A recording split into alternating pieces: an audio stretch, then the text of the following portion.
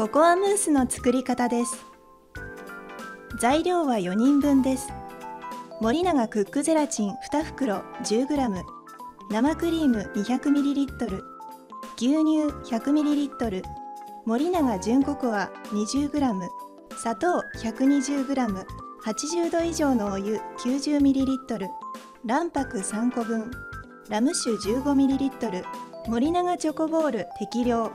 森永小枝適量ミントの葉適量粉砂糖適量生クリームと牛乳を沸騰直前まで温めます。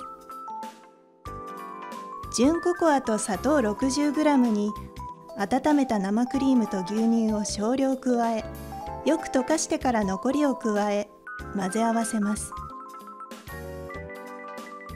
お湯にゼラチンを振り入れよくかき混ぜ溶かします。卵白に残りの砂糖 60g を加え固く泡立てます。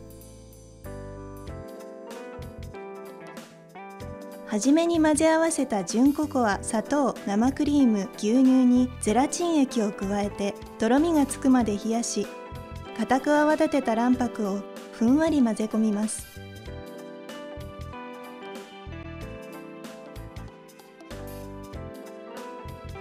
ラム酒で香りをつけグラスに注ぎ冷やし固めます。